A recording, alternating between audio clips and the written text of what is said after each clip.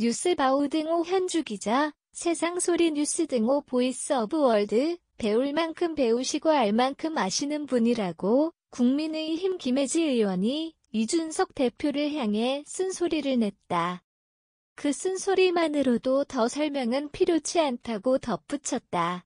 이에 대해 이준석 대표는 정치적 손해를 보더라도 장애인 문제에 대해 성역화를 거론하며 할 말은 해야겠다는 어투다. 이 대표는 여의도 속설에 대해 언급했다.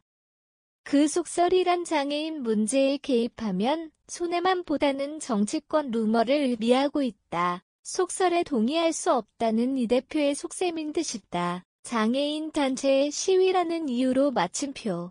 방치하는 것은 정치권의 얄팍한 셈법일 수 있다는 뜻도 있다. 장애인 혐오에 대해 이 대표는 전혀 거론한 바 없다고 선음 그었다.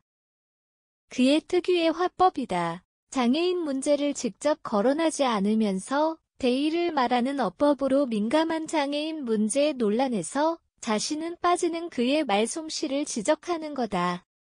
그러니까 장애인 문제보다 지하철 통행을 막아 시민들의 불편을 초래하는 문제로 몰고 간다. 시민들은 소위 전장현 단체가 지하철 통행을 막고 시위를 하는 집단 행동에 불편을 겪는 게 사실이지만 장애인 문제로 보는 것도 맞다.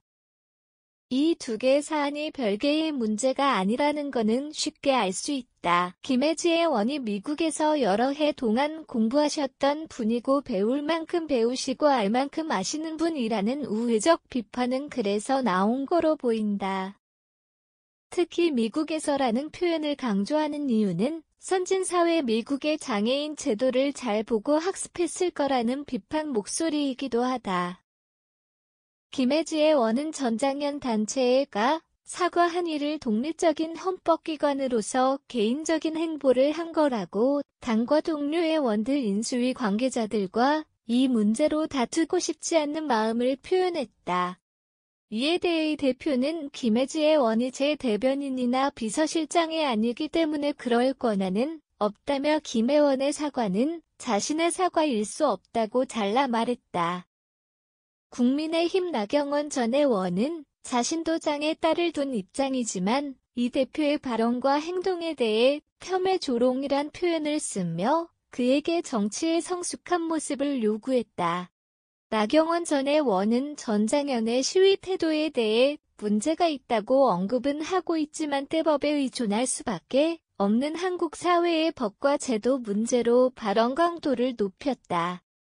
이동관 문제는 21년을 기다렸고요.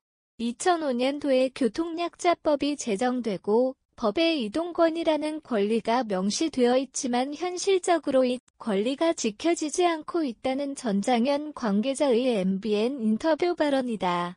한 의원은 여러 부처와 협의 과정에 있다며 전장현의 통행 시위에 대해 협조를 구했다. 전장현 관계자는 공당의 대표에게 사과하라고 요구했지만 이준석 대표가 볼모라는 표현까지 썼던 관계로 양측의 갈등이 쉽게 봉합될 것 같지는 않다. 민주당 박지원 비대위원장은 이 대표라고 꼭 꼬집어 발언은 하지 않지만 차별받는 장애인에게 뒤집어 씌운 거라고 날선 비판을 냈다. 이어 이 대표의 발언으로 상처받으신 장애인분들에게 같은 정치인 한 사람으로 제가 대신 사과드린다며 정면으로 사과하지 않는 이 대표를 겨냥해 쓴 소리를 냈다. 이준석 대표는 마이동풍이다. 그는 여전히 다수의 일반 시민들의 불편을 앞세워 자신 입장에 변화가 없다는 글을 SNS에 올렸다. 전장현의 집단 시위에 대해 비효율적 방식 운운하고 있고 시위 중단 행위조차도 목적 달성을 포기했다는 다소 자극적인 표현을 쓰고 있다.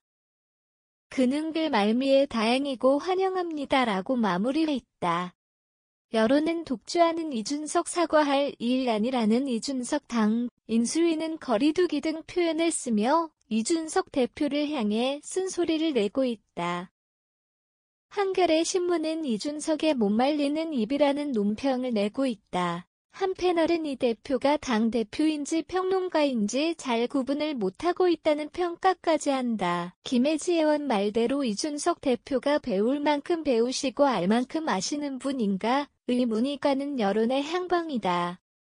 윤석열 당선인의 상식과 공정의 미를 이 대표가 되새겼으면 하는 바람이다. 출구가 안 보이면 스스로 출구를 찾는 게 지혜롭고 현명한 정치입니다. 현주 기자 사코파워 앳 아웃룩 캄루즈바우.com